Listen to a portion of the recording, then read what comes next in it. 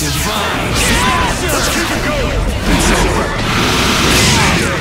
Not yet. You dead yet?